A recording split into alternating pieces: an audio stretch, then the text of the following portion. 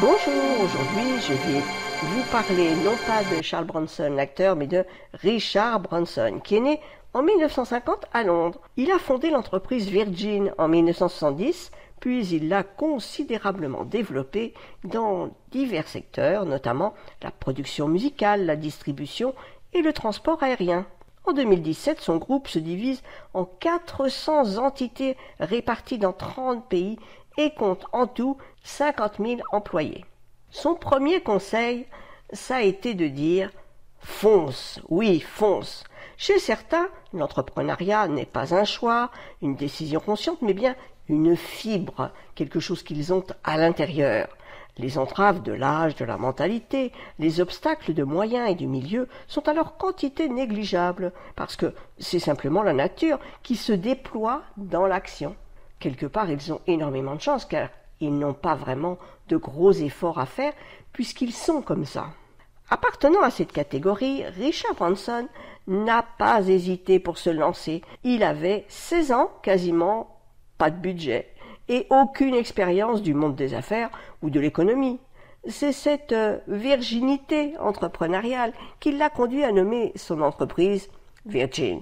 Ainsi, sa création d'entreprise, très précoce, probablement dans les pires conditions possibles, met en évidence le primat dans l'entrepreneuriat, de l'action sur la préparation. Pas besoin de philosopher, d'avoir étudié dans les meilleures universités, d'être passé par les institutions du capitalisme les plus réputées. Il faut juste foncer, avoir le courage de se lancer. Le milliardaire résume l'enjeu d'une expression laconique. Allez merde, fonce! La prise de risque est probablement la dimension primordiale de la réussite entrepreneuriale. Le succès récompense surtout le risque pris. Les personnes et les hommes d'affaires, explique-t-il, qui sont généralement considérés comme ayant eu de la chance, sont habituellement ceux qui sont préparés à prendre les plus grands risques, et en même temps ceux qui acceptent de se prendre des murs de temps en temps. C'est animé par cette conviction que Richard Branson a créé huit entreprises qui valent chacune plus d'un milliard de dollars. Son conseil est d'autant plus judicieux pour l'entrepreneur actuel que les conditions sont aujourd'hui beaucoup plus favorable pour se lancer. Par exemple, toute start-up profite amplement de la baisse des coûts technologiques. L'information est disponible gratuitement en grande partie sur Internet. Des serveurs informatiques peuvent être obtenus pour une bouchée de pain. Il est possible de faire de la publicité à moindre frais sur Facebook.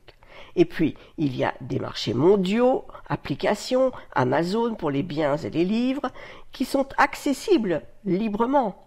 Désormais, le plus grand obstacle à la création d'entreprise est probablement le verrou psychologique que l'on a en soi. Essayez de suivre ce conseil et foncez